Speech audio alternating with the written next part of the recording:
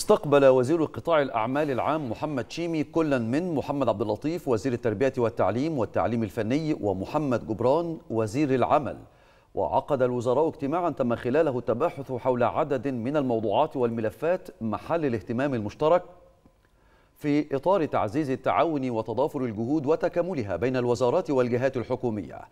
كما تطرق اللقاء إلى خلط العمل إلى خطط العمل والجهود الجارية في إطار الاهتمام بالعنصر البشري وتنمية مهاراته والنهوض بالعملية التعليمية وتطويرها والارتقاء بمنظومة التدريب الفني والمهني.